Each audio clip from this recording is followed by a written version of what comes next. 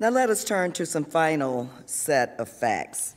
In a further effort to silence his administration, President Trump engaged in a brazen effort to publicly attack and intimidate the dedicated public servants who came forward to testify.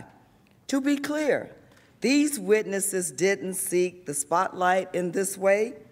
For years, they had quietly and effectively performed their duties on behalf of our national interest and on behalf of the American people.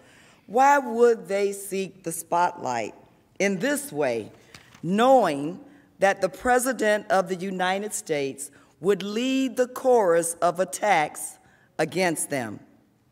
And he did. In response, the President issued threats, openly discussed possible retaliation, attacked their character and patriotism, and subjected them to mockery and other insults the president. The president's attacks were broadcast to millions of Americans, including the witnesses, their families, their friends, and their co-workers. This campaign of intimidation risks discouraging witnesses from coming forward voluntarily or complying with mandatory subpoenas for documents and testimonies and as we all know, witness intimidation is a federal crime. There is simply not enough time today to walk through each of the president's attacks on the House's witnesses. But let's talk about a few. As I am sure my colleagues recall, the House subpoenaed Ambassador Marie Yovanovitch for public testimony. Ambassador Yovanovitch's first tour was in Somalia, an increasingly dangerous place as that country's civil war progressed.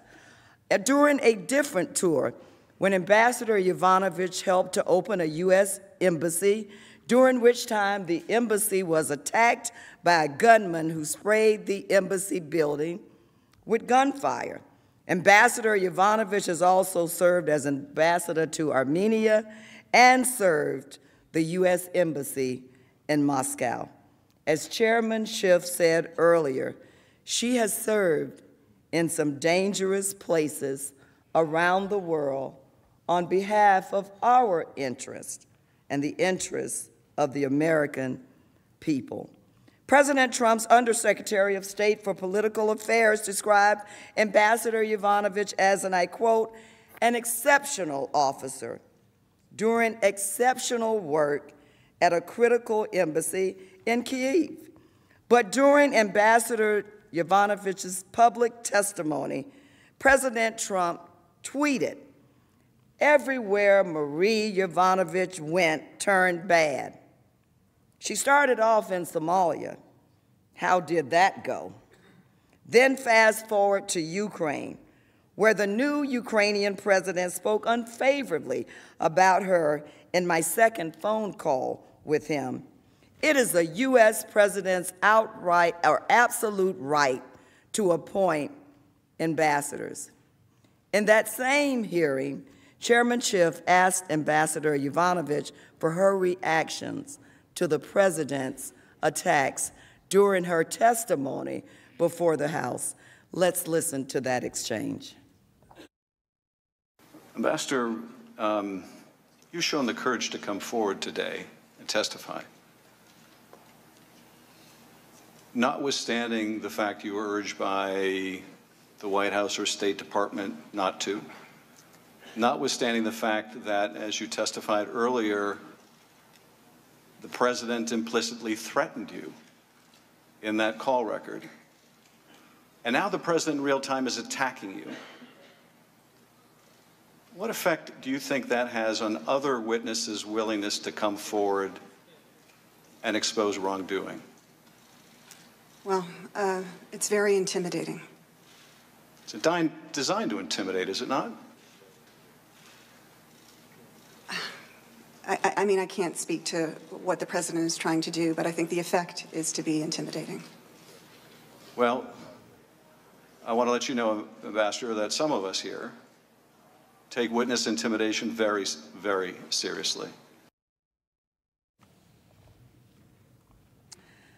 The House also subpoenaed the public testimony of Ambassador William B. Taylor, another career public servant who graduated at the top of his class from West Point, served as an infantry commander in Vietnam, and earned a Bronze Star and an Air Medal with a V device for valor. Yes, yet shortly after Ambassador Taylor came forward to Congress, President Trump publicly referred to him as a never Trumper without any basis. And then, when a reporter noted that Secretary of State Mike Pompeo had hired Ambassador Taylor, President Trump responded, and I quote, Hey, everybody makes mistakes. He then had the following exchange about Ambassador Taylor. Let's listen. Do you want him out now? Like the He's a never Trumper. His lawyers, the head of the never Trumpers, they're a dying breed, but they're still there. Ambassador Taylor has since stepped down from his position as our chief diplomat in Ukraine. In addition to his relentless attack on witnesses who testified in connection to the House's impeachment inquiry, the president also repeatedly threatened and attacked the member of the intelligence community who filed the anonymous whistleblower complaint.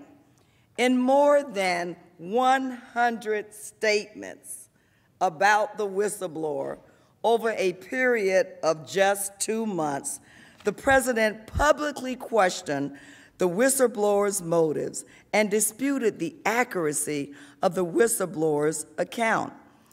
But most disturbing, President Trump issued a threat against the whistleblower and those who provided information to the whistleblower. Let's listen. I want to know who's the person that gave the whistleblower, who's the person that gave the whistleblower the information? Because that's close to a spy. You know what we used to do in the old days when we were smart, right? With spies and treason, right? We used to handle it a little differently than we do now. The president's need to conceal his actions was so extreme that he even attacked the credibility, credibility of those witnesses who served our country in combat. This included active duty military personnel and veterans who earned the Purple Heart and Bronze Star, among other battlefield recognition. But President Trump showed altered dis disregard for such patriotism. For example, President Trump attacked Lieutenant Colonel Vindman during his testimony on November 19th, seeking to question his loyalty to the United States. The president retweeted Lieutenant Colonel Vindman was offered the position of defense minister for the Ukrainian government three times.